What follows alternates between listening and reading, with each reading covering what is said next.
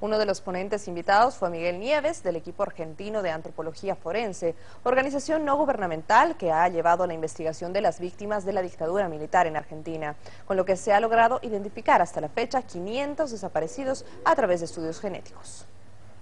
Que aplica las ciencias forenses a la investigación de violaciones de derechos humanos digamos,